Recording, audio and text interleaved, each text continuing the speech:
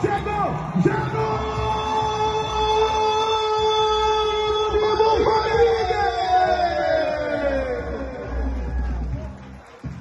E esse é o nosso governador Jerônimo Rodrigues.